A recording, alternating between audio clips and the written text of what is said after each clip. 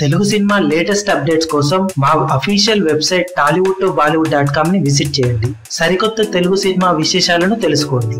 Tollywood super star Mahesh Babu నటించిన latest movie Spyder box office దగ్గర రెండు వారాల ముగిసే సమయానికి అరవై ఒక్క కోట్ల వరకు షేర్ని వసూలు చేయగా టోటల్ వరల్డ్ వైడ్గా గ్రాస్ వంద కోట్ల మార్కును అందుకున్న విషయం తెలిసింది. మొదటి రోజు నుంచే భారీ విముఖతను సొంతం చేసుకున్న ఈ సినిమా రెండు తెలుగు రాష్ట్రాల్లో అనుకున్న రేంజ్ వసూలను సాధించలేకపోయినా తమిళనాడులో మరియు రెస్ట్ ఆఫ్ ఇండియాలో మంచి వసూళ్ళను సాధించగలిగింది.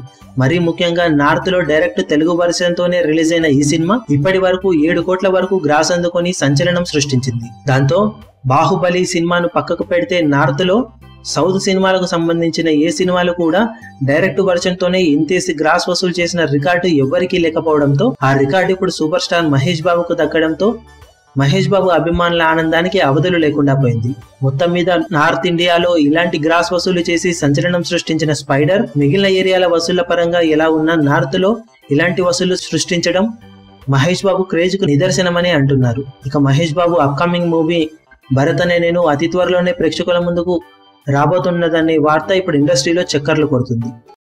మీ అభిమాన హీరోలకు సంబంధించిన లేటెస్ట్ అప్డేట్స్ కోసం మా ఛానల్ని సబ్స్క్రైబ్ చేసుకోండి. ఏ చిన్న అప్డేట్ని మిస్ అవ్వకూడదు అనుకుంటే బెల్ ఐకాన్ని ప్రెస్ చేయండి. లైక్ షేర్ కమెంట్ చేయడం మర్చిపోకండి.